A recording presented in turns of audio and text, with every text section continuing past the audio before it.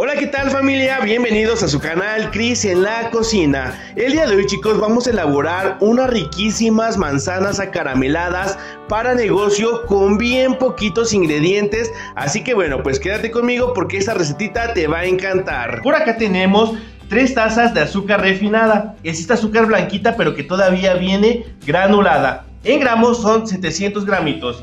Una taza de agua natural, lo equivalente a 250 mililitros. Glucosa, chicos, de esta vamos a utilizar un poquito que será alrededor de unos 150 gramos. Pero ojo aquí, si no consigues glucosa, la puedes cambiar por miel de maíz, o mejor conocida como miel caro, ¿va? Igual, misma cantidad, unos 150 gramitos. Y colorante vegetal rojo. Vamos a realizar este caramelito en un recipiente. Asegúrate que esté lo más limpio posible, ¿va? Y aquí vamos a colocar entonces toda nuestra azúcar refinada. Colocamos también los 250 mililitros de agua. Para agregar la glucosa vamos a mojarnos un poquito las manos. Obviamente ya están bien limpias.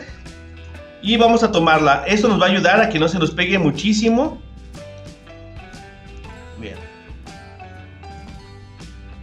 colocamos así, vamos a agregar otro poquito. Más o menos que sean dos bolitas así como estas. Y una vez que lo tenemos así, lo llevamos al fuego. Y aquí dentro vamos a agregar igual nuestras gotitas de colorante.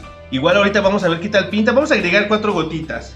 A partir de ese momento comienza a correr el tiempo. Aquí no tenemos termómetro, así que yo te voy a indicar más o menos cuánto tiempo se demoró estando aquí en la estufa. La flama la tenemos entre media y alta y listo, la vamos a dejar aquí. De cualquier manera al finalizar yo te voy a indicar cómo puedes corroborar de que ese caramelo ya está completamente listo.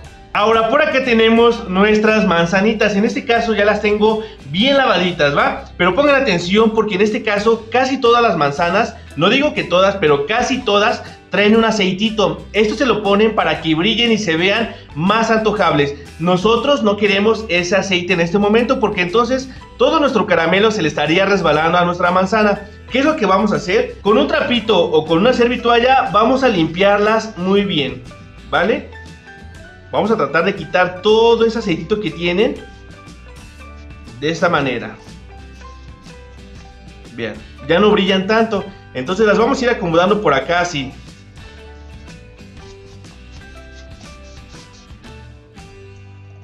Igual, si tú ocupas estas manzanitas para vender, te recomiendo que pues no te compres unas manzanas súper grandes, cómpralas así de un tamaño regular, tampoco excesivamente chiquitas, porque aquí tengo unas muy chiquititas, ve. Unas medianitas para que puedas tener un buen margen de ganancia.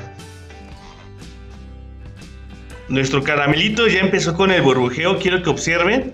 Si se dan cuenta, no estamos metiendo absolutamente nada.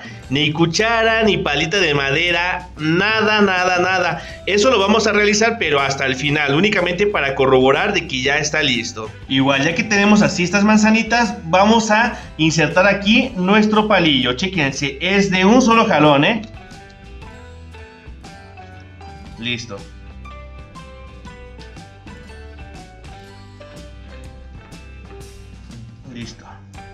Media hora después, exactamente media hora después, este caramelito ya va así. Si te das cuenta, el burbujeo ya es aún más pronunciado y un poquito más lento. Vamos a hacer la prueba. Yo hace rato estuve haciéndola. Y cuando aún no está listo nuestro caramelo, a la hora de colocarlo aquí, pues únicamente se disparce por todo el agua y no queda. Cuando nuestro caramelo esté completamente listo, a la hora de colocar un poquito aquí, inmediatamente se va a hacer una bolita durita, ¿va? Vamos a ver esto.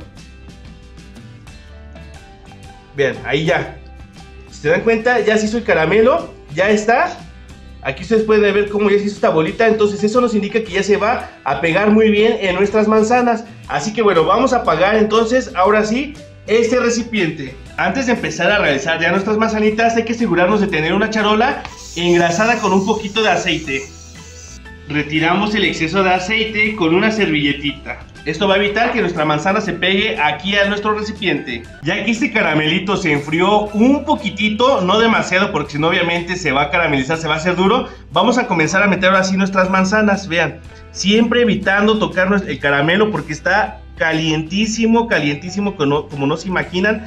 Las quemaduras más fuertes son con caramelo, entonces, pues bueno, siempre con muchísimo, muchísimo cuidado. Retiramos el exceso de caramelo. Y así chicos hacemos todo con todas nuestras manzanitas.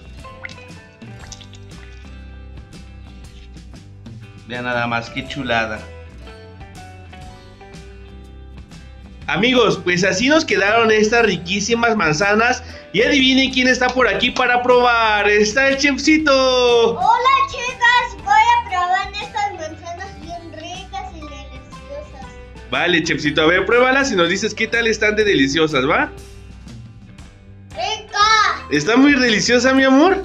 No inventes. Entonces nos salieron 12 piezas para que lo tengan en cuenta. Cuídense mucho. Nos vemos próximamente. Bye bye. Despídete, Cris. Adiós chicos, suscríbanse a la campanita, luego le den un like, luego suscríbanse en una campanita, luego le dan una carita feliz, con muchos saludos y con mucho cariño, con el amor y la amistad.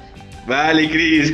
ya que tanto dijo Cris. Adiós, chicos. Cuídense mucho. Bye, bye. Adiós.